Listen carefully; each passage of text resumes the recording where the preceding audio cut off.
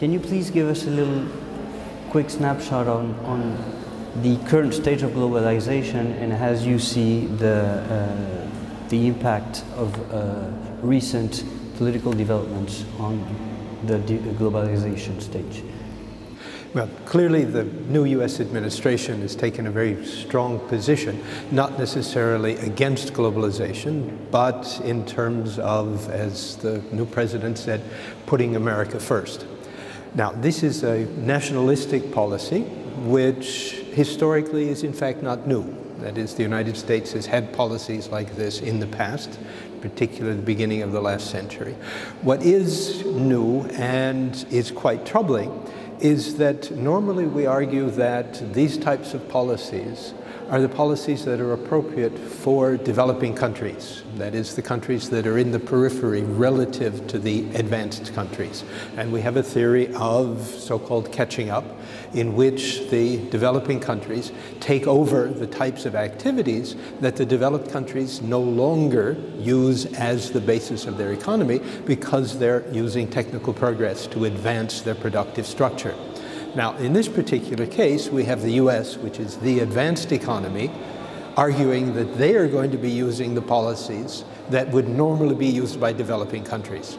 So if we put it in the context of a well-known Japanese theory, the idea of the, of the flying geese, the idea is that the first goose undertakes rapid technical progress and moves up the technology production scale so that they leave behind particular types of activities. And in particular, those activities tend to be in manufacturing.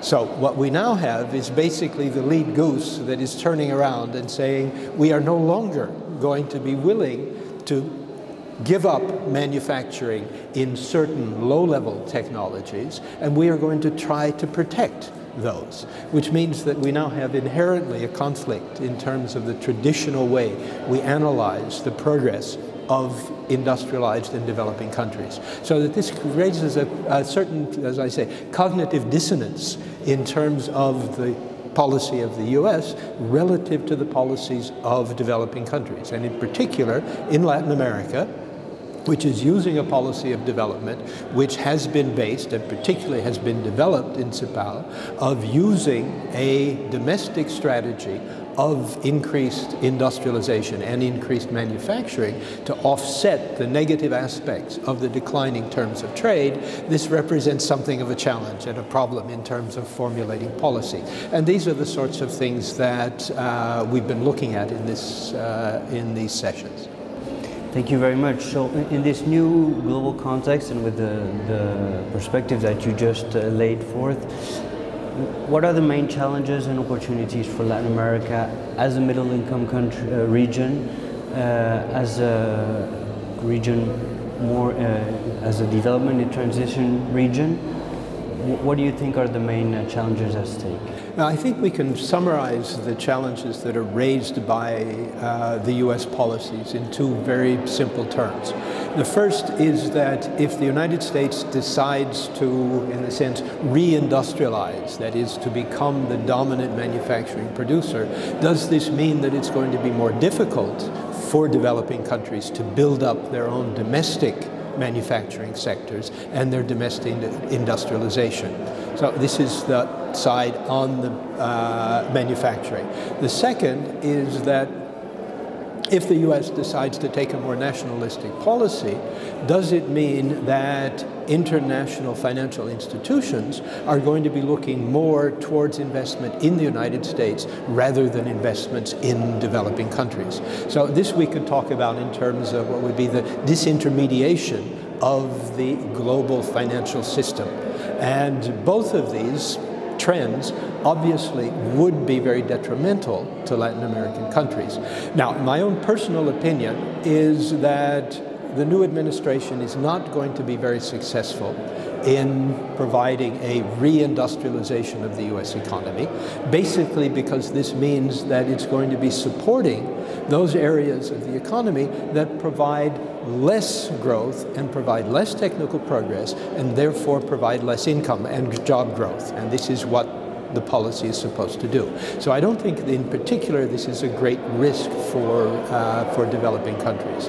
On the side of the financial disintermediation, the financial disintermediation also would require a certain amount of success in US policies. And in fact, if these policies are not successful, then we really can say, well, this the disintermediation is probably not a risk. Now, having said that, I think it's important in the context of the idea of increasing globalization and the spread of technical progress to ask the question whether or not it is sensible for developing countries to believe that their policy should be centered on a emphasis of building up manufacturing and if they should continue to rely on external financing, that is international financialization, in order to support that process. And here, this is the, the impact of technology. What we find, and much of the discussion that we've had in the, in the seminar, is that if we look at the impact of technical progress, Technical progress, in fact, provides very strong benefits, but it also creates increasing output per man, which means that it reduces the demand for labor.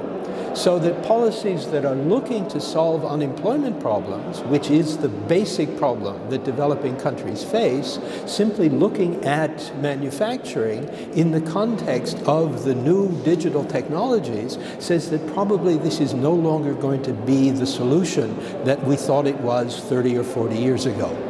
So the first lesson I think we have to take into account is that we have to look beyond simple manufacturing as a solution for the structural changes and to look more broadly at the way technology is changing the employment creating capacity of sectoral changes in the economy on the first level. The second is that if we look at financialization. In fact, financialization, the way it works, in general, has been to support the center relative to the periphery. So that if we continue to have the very strong dominance of US financial institutions, those US financial institutions are always going to be investing in those areas that are producing the greatest profits for their shareholders. And their shareholders happen to be almost all in developed countries. So the second point is that if developing countries, and in particular, if developing countries in Latin America are going to be designing industrial strategies that are now looking more directly towards employment creation rather than simply emphasizing manufacturing or services, they're going to have to have more autonomy in terms of their domestic financing, which means that they're going to have to have increasing controls over the impact of foreign capital inflows and in particular in foreign direct investors. Because foreign direct investors are not always going to be interested in maximizing employment, they're going to be interested in maximizing their returns relative to their domestic economies. So that I would argue that the new policies in the United States are probably a very good indication that developing countries should be taking much stronger steps to develop industrial strategies that move beyond the simple emphasis on manufacturing. If the United States wants to be the center of manufacturing, we're certainly happy to let them do it. We would rather develop those new techniques and those new strategies that come from the digital revolution rather than the financialization and the emphasis on manufacturing.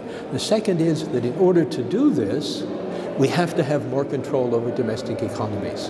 And if you look at one of the basic elements of nationalistic development policies under the, uh, uh, the global conditions of the 19th century was to say, well, effectively the gold standard is what prevents us from developing our own independent strategies because the gold standard meant that every time you had a condition in which you tended to expand too rapidly, you always had to protect the amount of gold supplies. So we said getting rid of the gold standard was the way of getting national monetary sovereignty. Well, we don't have the gold standard anymore. We now have completely open international financial markets but the paradox is that having done that has created constraints that are just as strong as the gold standard. okay, if the international investors decide an economy is not developing sufficiently well, what are they going to do? We get the so-called capital reversal, and the capital reversal then produces a financial crisis. So that if we're going to have effective national industrial strategies and policies, there's going to have to be, number one, control over foreign capital inflows, in particular controls on FDI, which as we know China has used very effectively in developing their own economy, and secondly to build up domestic financial institutions. And if we look at one of the characteristics of the last 15 to 20 years in Latin America has been the absolute decline in domestically owned financial institutions. And this is a very important area in which a national development strategy will require either a strong national financial system or some sort of financial development bank.